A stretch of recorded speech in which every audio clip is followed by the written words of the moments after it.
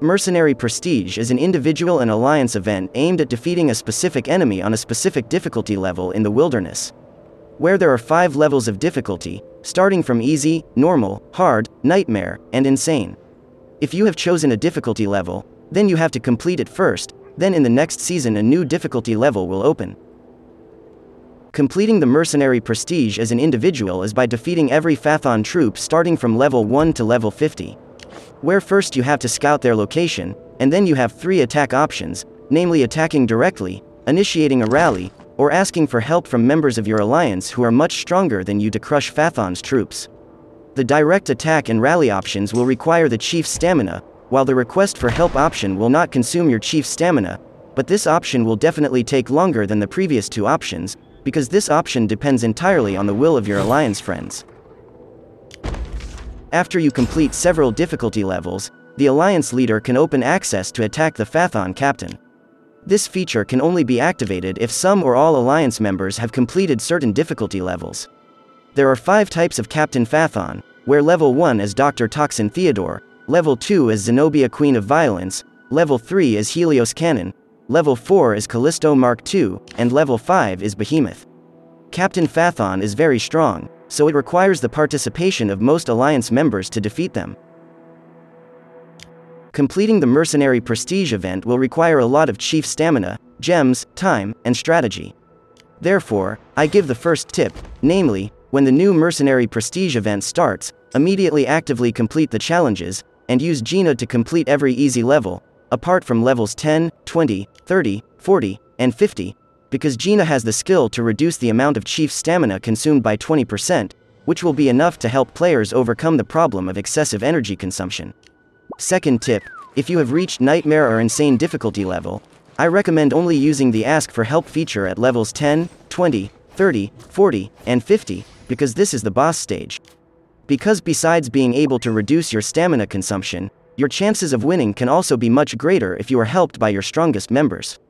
Third tip, if you want to increase your chances of winning in every attack without the help of your alliance, I suggest that you use buff items, such as increasing attack, lethality, and increasing the capacity of the number of troops. By doing this, you have a much greater chance of being able to complete the mercenary prestige much faster, and without having to wait for help.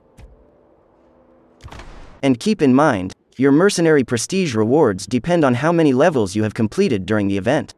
If you complete all 50 levels, you will get the ultimate reward, but the rewards you get are also determined by the difficulty level you chose when starting this event, where the higher the difficulty level, the better the rewards. Mercenary Prestige is a pretty good event for collecting resources, speed up items, gems, and hero shards, and I think the choice of difficulty level makes this event quite friendly for players who have just started playing.